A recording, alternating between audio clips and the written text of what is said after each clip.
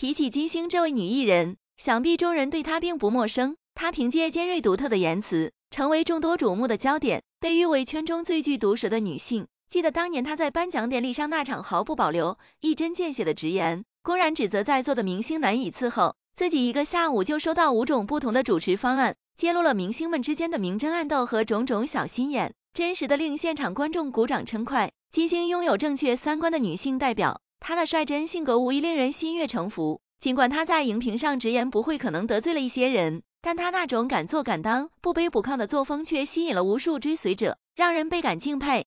金星的人生经历像是一部传奇故事，前半生的她是男人，后半生她是女人。从小她就很喜欢女孩子的东西，总认为自己本该是女孩子。终于在二十八岁那年，她得到父母的同意和支持，做了性别重塑术。尽管这个过程要经历很多痛苦，但是他一点也不害怕，甚至在没有麻醉的情况下进行了喉部的手术，这点真的让人很是佩服。尽管变性后的人生道路上，社会的疑问与非议如影随形，但金星却以无畏的姿态直面这一切挑战，坚定地走出了一条属于自己的真我之路。这点还是要感谢父母对他的支持。当初父亲的一句话让他瞬间明白，原来父母从小看他就像个小姑娘，对于他的想法。父亲也只是说了句也好，总算是对上号了。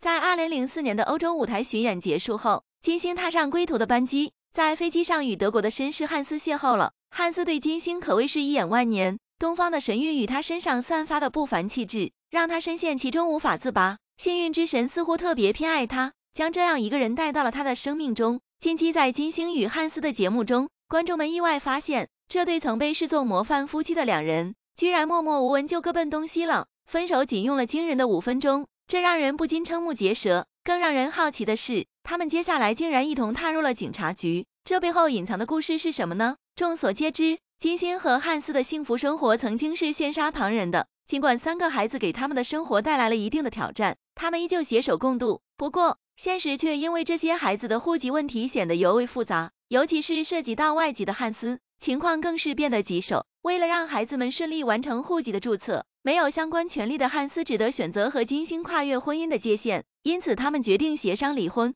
他们迅速到民政局办理了分手手续，并且在转瞬之间赶往警局，为孩子们搞定户籍登记。这一过程令人叹为观止。